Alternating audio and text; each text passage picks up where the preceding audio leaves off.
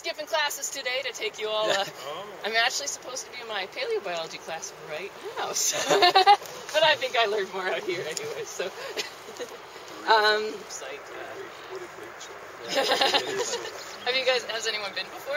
You just you? Oh, okay, that's great. It's amazing how many wanted to. geologists from Calgary have never been. You know? It's On the bucket list. when it came up, Yeah. yeah.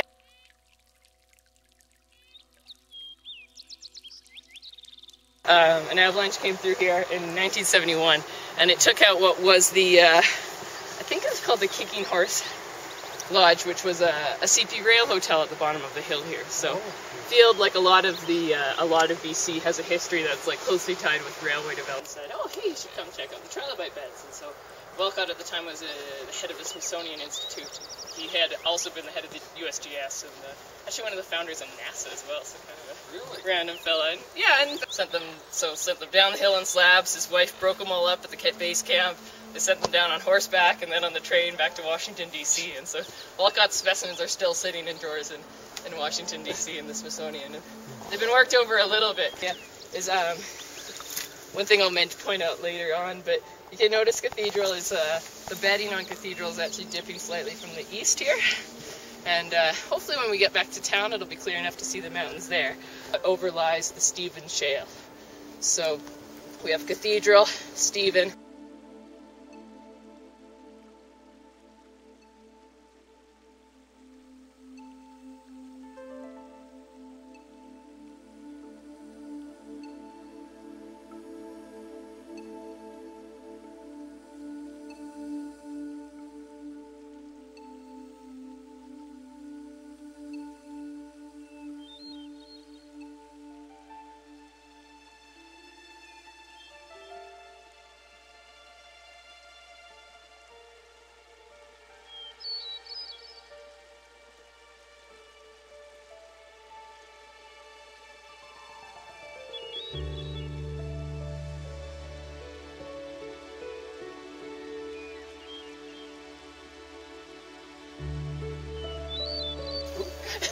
Cool. Uh, just as a general, I'll talk a little bit about some of the history and the science behind the, the Burgess Shale. I do know more than what I say, so if you guys are curious about, like, typically we talk a bit about mountain building and climate change and how glaciers carve the Rockies, but I'm sure you guys know a lot of that stuff, so I'll kind of skip over stuff if you. But if you are interested, feel free to pick my brain as we walk. I'm happy to talk about a lot of this stuff. And so one thing I just like to do is give you guys a picture of the Cambrian world, and for even for those geologists here, I think some of you might have forgotten what the world was like then. So there's a couple switchbacks, then we have lunch, and uh, we continue on for about half an hour, and we get to underneath the where the Burgess Shale is, and after that there's a series of steepish switchbacks to get to the quarry itself. So the restricted area is actually just above the trail itself on the ridge, and uh, you can get some fossils that slide down to the what we call the discovery site there. So we'll stop there when we. I'll show you when we get there.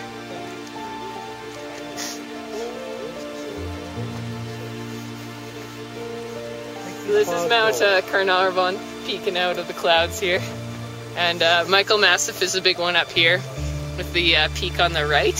And you can see Emerald Glacier up ahead here. And uh, if you look, um, it's actually called Noceum Falls because you can't see it from. So that's that's where, where the extent of the Emerald Glacier was during what people call the Little Ice Age. So I guess that maxed out around 1830 in this area. Yeah.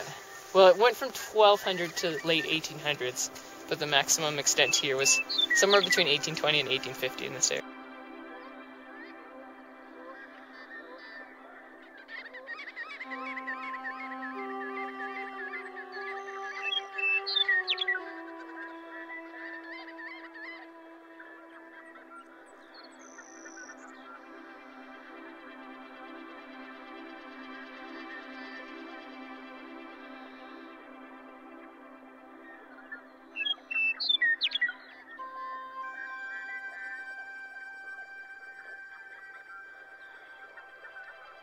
Two types of rocks against each other. They kind of gradually change into each other. But one thing that's really special about this site is it's a very direct contact. So much so that they thought it was faulted in for a really long time, but there's no evidence of that, and it's also very laterally continuous. So much so it's called the Kicking Horse Rim. So it's an area of this drastic change, facies change essentially, between the limestone and the shale. And uh, and it's thought that it was kind of an undersea cliff, so it's called the cathedral escarpment. Animals actually lived on the shelf, but they were carried by mud flows, and so they were kind of carried by what we call turbidity. So big, like muds, essentially underwater mudslides that would. So this is the uh, discovery site where Walcott found his first fossil 101 years ago. Um, legend goes, that he was uh, it was a cold in late August, riding his horse, and there was a large slab of, shale on the ground in front of his wife's horse, so he, hopped off to, to move the rock out of her way and clear the path for her, and he spotted a fossil, and supposedly in this tale it was a I like to say that uh, it speaks for uh, Walcott's eyesight if nothing else, because the Marrella, which is a critter that's on my badge here, is about the size of a, a fingerprint. So this, there's of about yeah, as I said, there's 150,000 samples at the Royal Ontario Museum, and they represent about 250 species. So John still uh, publishing a lot of these species. He, he just uh, put out uh, papers, a couple of papers this year on the sea cucumber thing and uh, which is uh, which is uh, classified as a mollusk.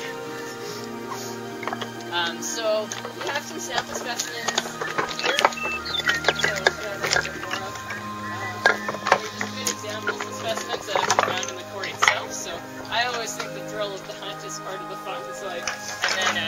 Questions about any of the other ones, you can always ask.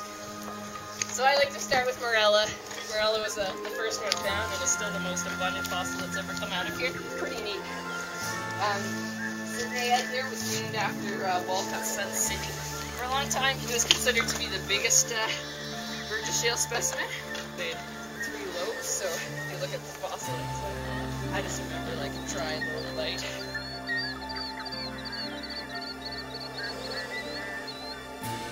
Also kind of looks like little uh, little ice cream cones. There's two. There's one there, one there. And never really well understood. They thought he kind of walked on these strange spine things, and then he had these tentacles that came out and kind of passed food to, to his mouth. That was another part of the mystery, and it wasn't until the 90s that they found. This is a cast of the fossil they found, but they found this guy. And the teeth are the hard parts, and the bodies are quite soft and squishy, so you don't tend to find like full bodies of them very often. And uh, it's one thing that's kind of neat, you know, where it took a hundred years between the first publication and, and Chordata is a phylum that we all belong to. So anything with a backbone or vertebrate belongs to Chordata. And uh, and Pikaia was one of the first ones found that that uh, had a chordate. So it's pretty exciting to find something that you know was the big, like you know ancestors to all vertebrates. But in the Cambrian, there's a lot more diversity now than there was years, like hundreds of millions of years ago. Whereas uh, Stephen Jay Gould is one big proponent for saying, no, no, no, the greatest diversity.